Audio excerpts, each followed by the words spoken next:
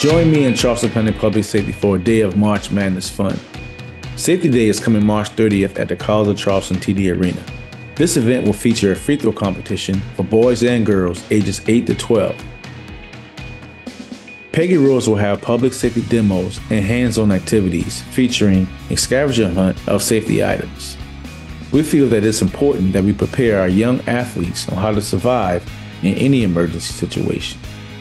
Presentations from departments like fire, 911, and emergency medical services, just to name a few. This free family event is open to the community. We appreciate Charleston County Public Safety for all their efforts in providing quality information to our athletes.